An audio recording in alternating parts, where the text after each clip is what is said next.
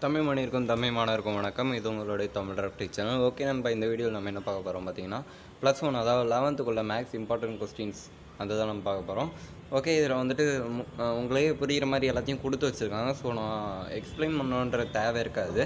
So நான் லைட்டாக உங்களுக்கு எக்ஸ்பிளைன் பண்ணிக்கிறேன். இந்த இடத்துல கொடுத்துருக்காங்க பார்த்தீங்கன்னா டூ மார்க்கு இது வந்து எக்ஸாம்பிள்னால் எப்படி கொடுப்பாங்க? எக்ஸசைஸ்னால் இஎக்ஸ்ன்னு கொடுப்பாங்க. ஸோ இது நீங்கள் டிஃப்ரென்ஸ் மேலே கொடுத்துருக்காங்க பாருங்கள் எக்ஸாம்பிள்னால் இஜி எக்ஸசைஸ்னால் இஎக்ஸ்னு உங்களுக்கு மேலேயே எக்ஸ்பிளைனாக கொடுத்துருக்காங்க. ஸோ நீங்களே ஃபைண்ட் அவுட் பண்ணி எழுதிக்க முடியும். ஸோ டூ மார்க்ஸ் உங்களுக்கு எதெல்லாம் இம்பார்ட்னு கொடுத்துருக்காங்க பாருங்கள் ஃபஸ்ட் யூனிட்டில் example one point one one point two one point three one point four one point five one point six so அந்த மாதிரி உங்களுக்கு எல்லாத்தையுமே கொடுத்துருக்காங்க. ஸோ நான் பிடிஎஃப் லிங்க் நான் கீழ் டிஸ்கிரிப்ஷன்லேயும் தரேன். கமெண்ட் பாக்ஸ்லேயும் தரேன். கமெண்ட் பாக்ஸில் கொஞ்சம் லேட்டாக தரேன்னு வச்சுக்கோங்களேன். டிஸ்கிரிப்ஷன் பாக்ஸில் நீங்கள் இப்போயே போய் பார்த்துக்கோங்க.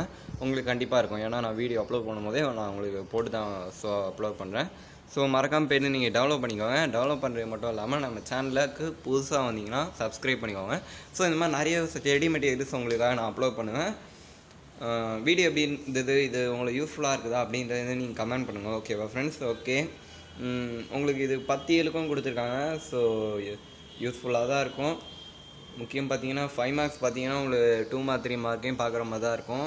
ஸோ ஃபைவ் மார்க்ஸில் நீங்கள் நிறைய கான்சன்ட்ரேஷன் பண்ணுங்கள் அதுவும் இல்லாமல் எக்ஸாம்பிள் ஃபைவ் மார்க்ஸில் நிறைய கான்சன்ட்ரேஷன் பண்ணுங்கள் எக்ஸசைஸோட எக்ஸாம்பிள் நிறைய கேட்குற மாதிரி இருக்குது ஸோ நல்லா பர்ஃபார்ம் பண்ணுங்கள் உங்களோட எக்ஸாமில் ஆஃப்ல எக்ஸாமில் ஒரு குட் ஸ்கோரை நீங்கள் அச்சீவ் பண்ணிட்டு நம்ம கமெண்ட் பண்ணுங்கள் okay friends thanks friends thanks for வாட்சிங் பாய்